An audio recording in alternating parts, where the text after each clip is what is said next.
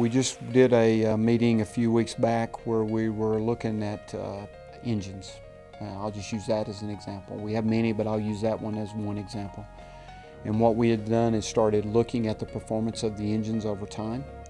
And as we analyzed that and as we did the analytics of that, we started doing scheduled replacements of engines so we could pull them off at the time that was of our choosing versus downtime driven.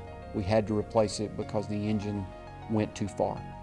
What that allows us to do is control when we do the maintenance. It allows us to prime the pump in the supply system so we get the right parts at the right time.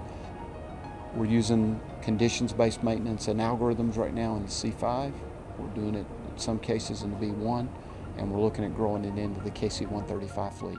So we're trying to take some of those uh, lessons learned and technologies and capabilities that others are using, applied into our inventory, and we're starting to see some benefits out of that.